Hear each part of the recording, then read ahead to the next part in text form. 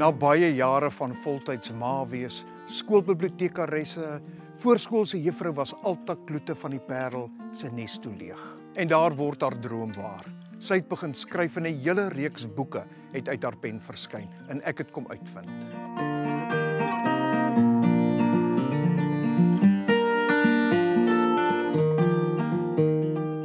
Alta jou skryfpad het al vroeg begin. Ja, weet jy, 'n goeie 30 jaar gelede, ehm um, ek het 'n wonderlike tikmasjienkie gekoop wat vir daai tyd 'n wonderwerk was.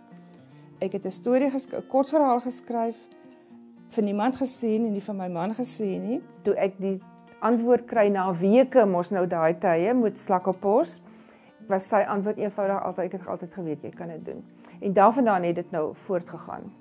En jy voel baie sterk oor Afrikaanse ontspanningsfiksie. Baie. Ek dink ek was ek was ook een van die mense wat op 'n stadium meestal Engels gelees het. Ek het teruggekom en ek dink daar's 'n groot terugkoms.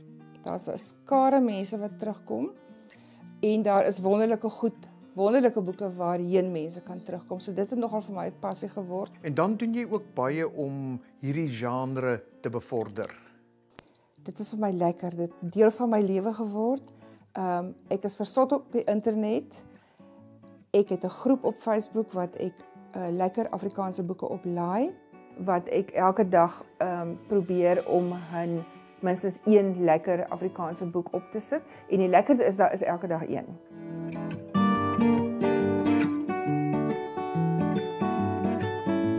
Ons kry onder ontspanningsfiksie romanses en liefdesromans. Eintlik is dit 'n baie maklike verskil. Die romanse is letterlik die storie van die ontwikkeling van die romanse tussen 'n man en 'n vrou. Die liefdesroman het meer om die lyf. Daar's ook die liefdesverhouding staan sentraal, maar daar's ander dinge. Daar's issues kan ek maar sê, die werklikhede van die lewe is meer deel daarvan. Al die vrouens in jou stories is sag, maar sterk en die manne is aantreklik, maar feilbaar en wonderlik. Weet jy, hoe as 'n persoon 'n um, ehm, romantiese fiksie skryf, hoe meer verlief jy op jou manlike hoofkarakter word, hoe uh beter werk jou storie. Ek het hulle 'n paar keer jou blog gebruik vir navorsing en om bietjie kennis op te doen. En ek moet sê jy's nogal baie produktief en heel behendig. Ek is baie bly as jy dink ek is behendig. Dit gaan met stryd gepaard soms. Um blogging is 'n verskriklike lekker ding. Dis 'n lekker uitlaatklep vir enige mense, nie net vir skrywers nie, maar dis 'n baie goeie oefening plek ook verskryf. Altaan jy beywer jou ook vir die destigmatisering van depressie. Ja, weet jy Gerard, daar is nog 'n groot stigma oor depressie en ander geestesiektes. Ehm um, ek self het jare lank weggesteek en alleen gelei en ek kom agter soos mense vir my kontak, daar's nog baie mense wat dit doen wat wat nie hulp vra nie en wat nie laat blyk dat hulle swaar kry nie en vir my is dit 'n groot vreugde elke mens wat net 'n bietjie gemakliker kan word Dis na middernag toe hy weer sy huis instrompel.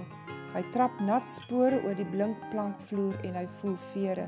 Hy ruk die bottel Chivas Regal uit die mooi hoekkas wat hy uit 'n weggesteekte winkeltjie ontdek het en skink hopeloos te veel.